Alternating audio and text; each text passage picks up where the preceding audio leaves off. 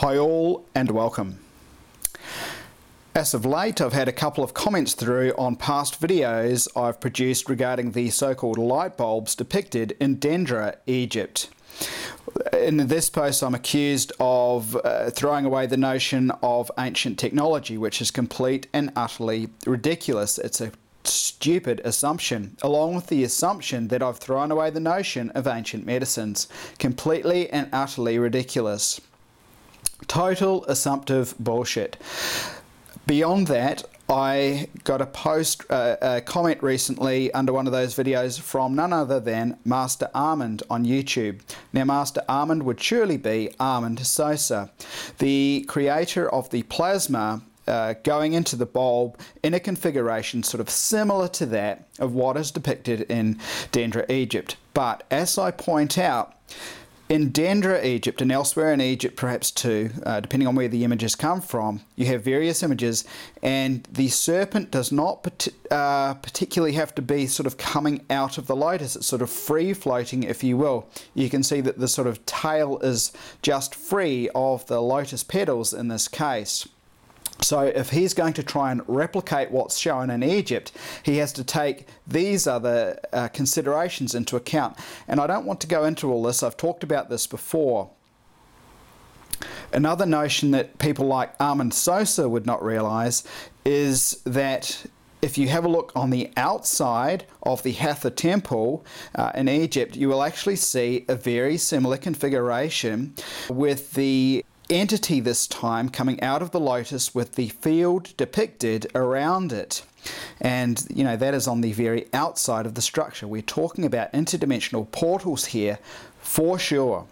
And I'm talking about interdimensional light. Let's read just a few sentences from the writings of Charles Leadbeater on this subject. The multi-prismatoidal temple was transparent like crystal, and yet somehow permeated with fire, so that in watching it one realized the meaning of the strange description in the revelation of a sea of glass mingled with fire. And there's further writing within here. It's really something people have to kind of look at and read for themselves what Armand Sosa and countless others around the world who only think of the physicality in the physical world and don't realize there's something else going on within society, they won't realize that you have the replication of the light bulb in Cambodia. And you can sort of see it here and here and here. For example different variations emanations from the lotus the lotus portal I would certainly suggest. And again in India you can see variations here and here and here for example. So variations within India also. There are tremendous similarities. There are tremendous similarities. There are tremendous similarities. And if you really look closely uh, between, say, this image from India and this image from Dendera, you can see further things there and, you know, the, the, the kind of portal way. And in a way, uh, people kind of, or entities, light entities, sort of standing, if you will, on that portal and other similarities. If you're at all tuned into this stuff and noticing symbolism, you'll know that uh, there are other figures kind of standing on these garland type configurations.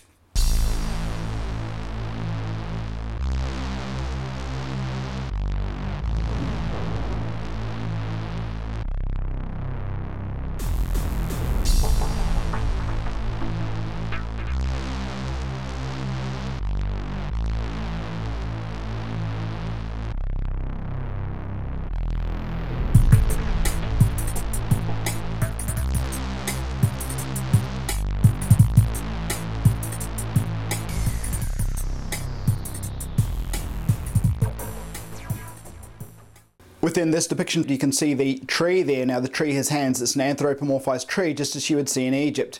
So that tree would also double as the person, double as the pillar. It's a light configuration, a light configuration of a person. And you can see that tree, see it's positioned on the, the garland type portal structure. You can see that in Dendera, Egypt also with the Djed pillar positioned there on the garland also. So it's the same configuration in a way, although the light structure is just slightly different with uh, between the Djed uh, and the tree configuration, but basically it's the same.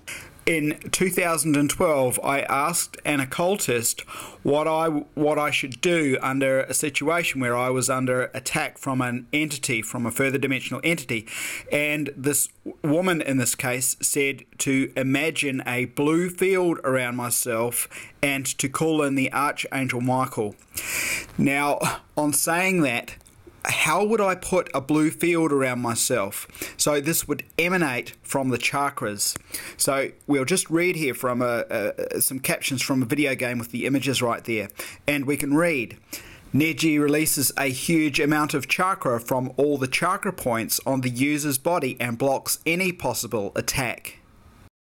Just a quick note with the fields that are coming out of the lotuses, uh, with this one for example, within this depiction you can see that what looks to be kind of fire coming out. And that would be uh, with the uh, sort of energies coming through these, they would be from the various dimensions, say earth, air, uh, fire and water. And it's kind of like a fish in water or the earth within its atmosphere or you within your aura, those sorts of things, all these things sort of within, within orbs, within spaces where you can survive. Now in Egypt, you see this serpent coming out of the uh, out of, but the the largest space can be uh, that area. It doesn't have to be the immediate area. It could be a wider area, and it's coming out into a space where it's uh, sort of able to survive, if you will. I could perhaps word this in a better way, but I don't want to muck around on this kind of these basic concepts. Everything is imbued everything. You are imbued. But within Freemasonry, for example, they ramp that right up. They ramp the light bodies right up. They ramp that right up. They ramp the light bodies right up. They also ramp the space within lodges right up also. And it is they describe it as light and I describe it as light as well but it is not the light you know of. It is not the physics you know of. These these are very subtle planes but when raised up through the chakras they are able to visualize these further subtle planes or dimensions. In Cirque du Soleil, the classic, you have the four orbs there, and within the orb, you have a certain environment in there also, an etheric environment. Uh, and within alchemy, within this one, you can see the, the four uh, orbs there, and they have the fire, but each of these would be imbued with one of the further elements. It's just that they're not explicit in this illustration.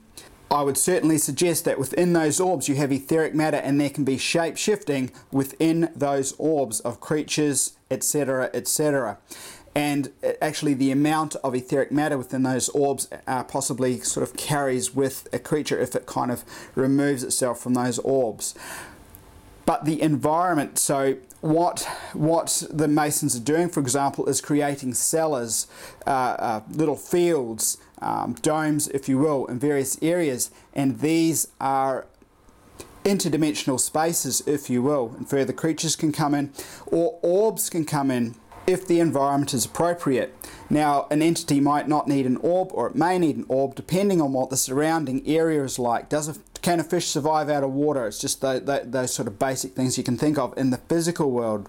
Just for a moment, you have the waist is a big part with the belt of the apron uh, and the etheric magnetic uh, kind of plane that, that, goes across there. The lower chakras can open up to uh, nefarious entities and these sorts of things if you know your stuff. S. Leadbeater writes about. But anyway, so with the apron, you have that, that flow, the etheric flow from the great architect of the uh, Bible, the great architect of the universe, coming over that belt in these cases, over that kind of line. And you can see that with the various entities, and it, they, they show it subtly, of course, in some cases. But that flow comes through, and then with the mind of the mage, that flow, they actually sort of hold it with their hands and out at a certain point, which is kind of interesting because you have various fields around your body.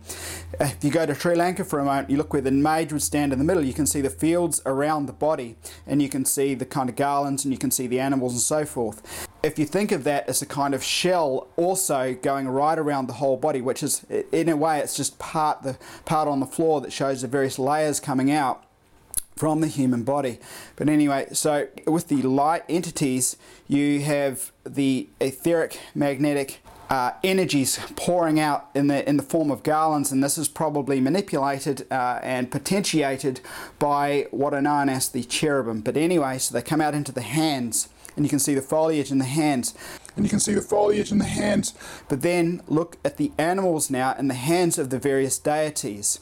So the garlands have transformed, the foliage has transformed, and I've just shown many creatures that uh, with the fol- with the uh, foliage, uh, with the creatures coming out of the foliage, out of the foliage, shown this over and over and over again for a reason. You're trying to teach people so in this case, with the hands, the entities now showing their sort of magical skill, if you if you will, uh, are holding these entities. Now you can see, like in this case, the scorpion there. This has come out through that through those chakras, and this person has interconnected with various energies of the zodiac. For example, I got uh, corrected years ago. I said spirit spirit of each zodiacal sign, and, and the Mason said no, the energy from that constellation. But these energies, I would suggest, transform into various sort of uh, forms, if you will. Let's not go into the reason why that possibly is. So these further light bodies have brought in these other uh, energies that have transformed into animals in their hands. Just as you have the concentric circles on the ground in Sri Lanka, and of course you have that field depicted around those individuals at the side of that magic circle there also, just in case people don't get it, within churches also, and we'll just look at a church in Parramatta for a moment at the doorway there, and you can see the shape shifting happening because within that doorway there, with those kind of there are concentric rings, if you will. You have that shape shifting in this case, but I can show other like bodily adornments and things that kind of celebrate these various fields, if you will, these various dimensions, if you will.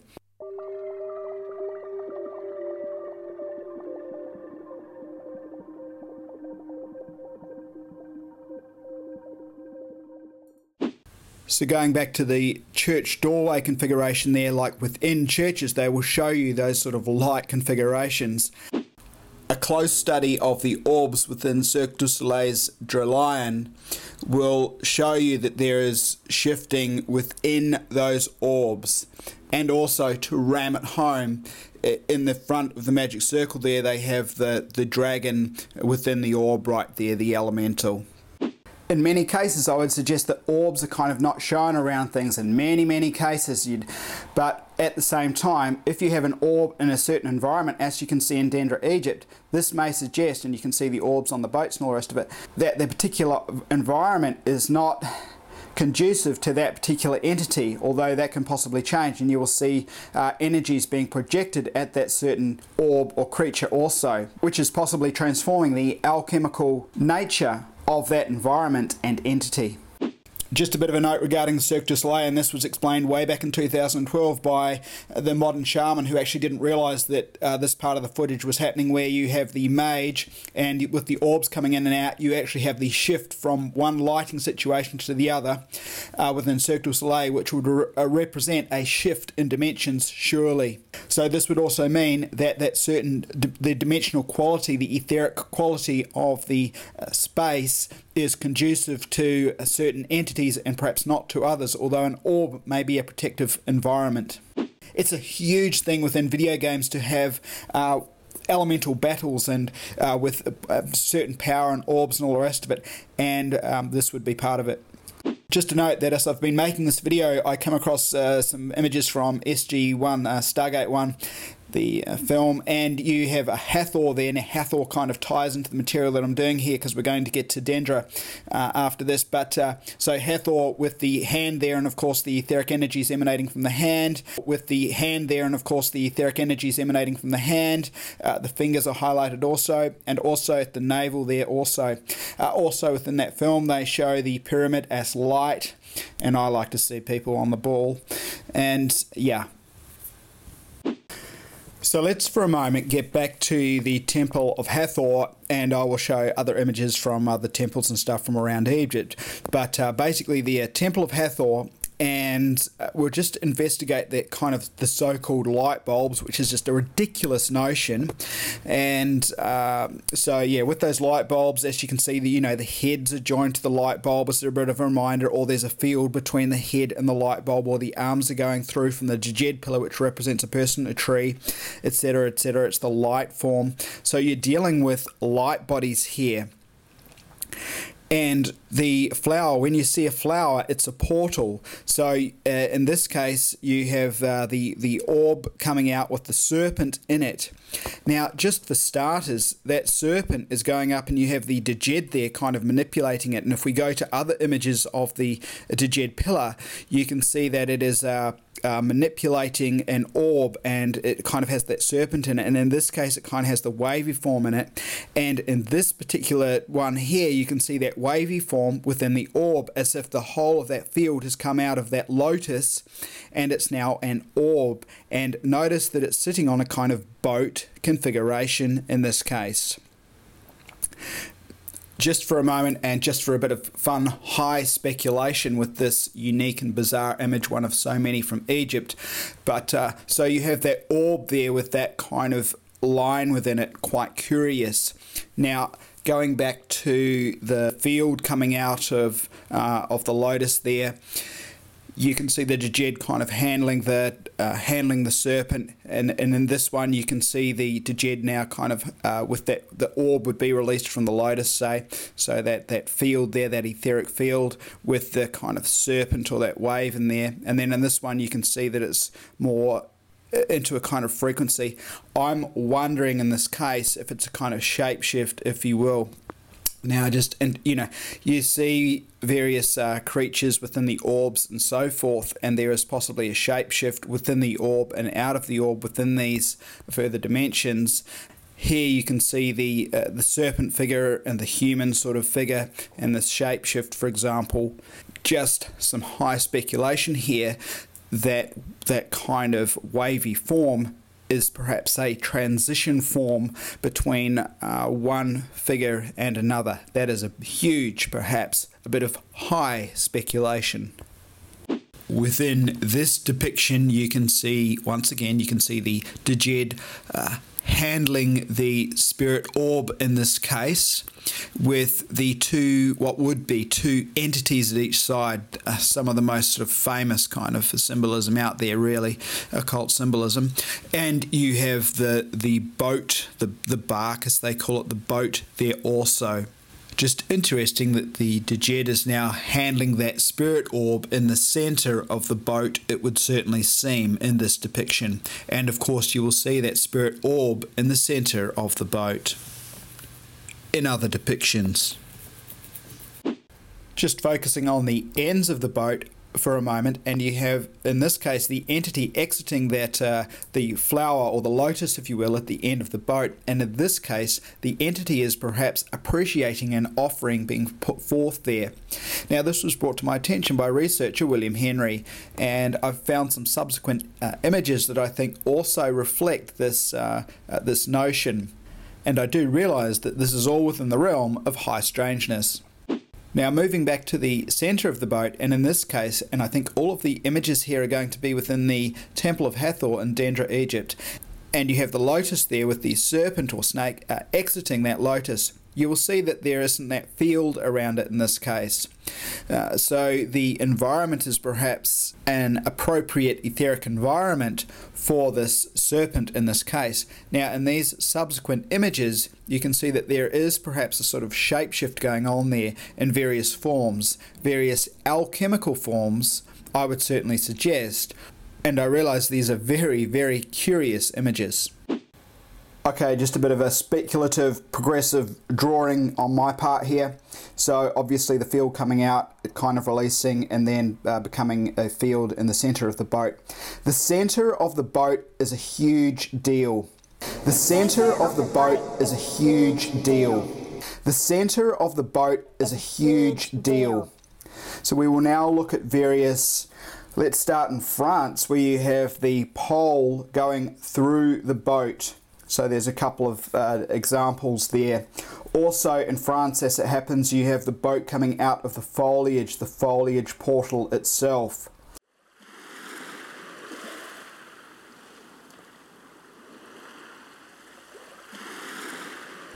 Let's look at the tree, the tree in the center of the boat. Remember the tree, you are a tree, you are a pillar, so the tree in the center of the boat also, you see the lotus there and the figures on the lotus. And this you can see this in different parts of the world as well. Here you can see the energies going right through the center of the boat. So as with this diagram here, the beehive, which would be an etheric edifice, I would suggest, uh, used within masonry, the center of the boat is like a, a ritual edifice in a way. You see the, the praying and the send, sending of energies into the center of the boat a lot of the time. And here you can see the energies going kind of right through the boat, also the well, the sun well area. I know this is highly complex and highly confusing, especially with many of the strange images out of Egypt. But there are themes. Within the Temple of Hathor, up in the ceilings, there are many depictions of boats, and you'll notice that with some of these boats, uh, you have that the uh, you have that little figure there kind of sitting on top of what looks like a, a rectangular shape and basically that can be one end of the boat okay so i'm now suggesting that this depiction is part of an etheric bark or boat building process and you will notice that you have the figures uh, sort of sitting on that boat.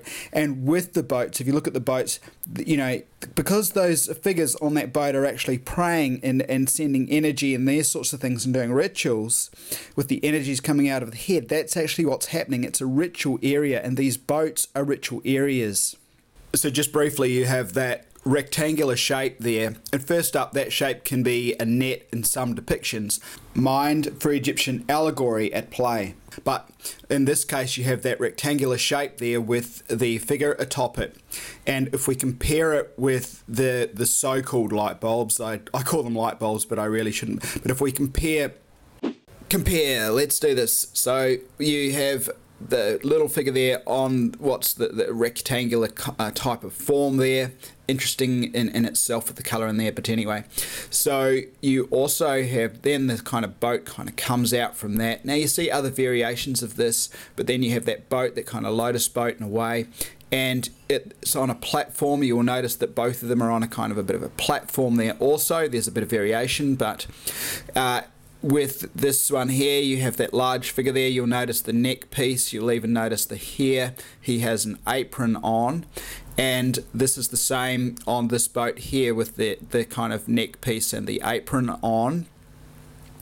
And also, his scale is still similar uh, to that of, uh, with both of them, there's a scale difference between those figures, between these light entities.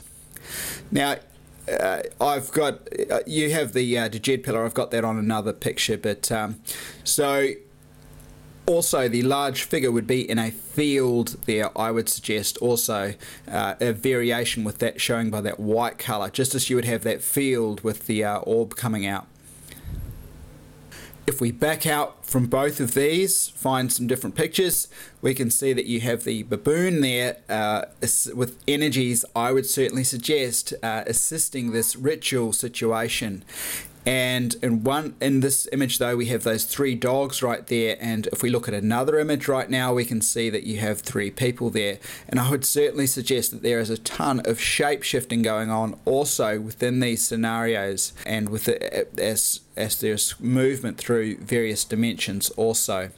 And this would be alchemy as well as different energies come into the situation, spirits and so forth.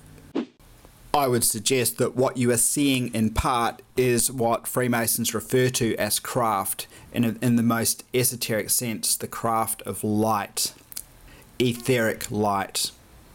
They tell you, Freemasons, particularly magic practicing Freemasons within the right orders, are activated by light.